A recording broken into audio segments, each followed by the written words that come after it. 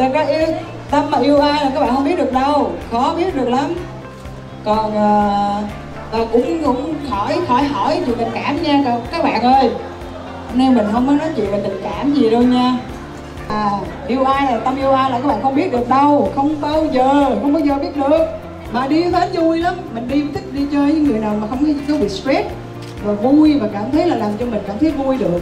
Và hết là một bạn rất là vui tính và rất rất, rất dễ thương cho nên là tâm cảm thấy thoải mái khi đi với bạn ấy lắm.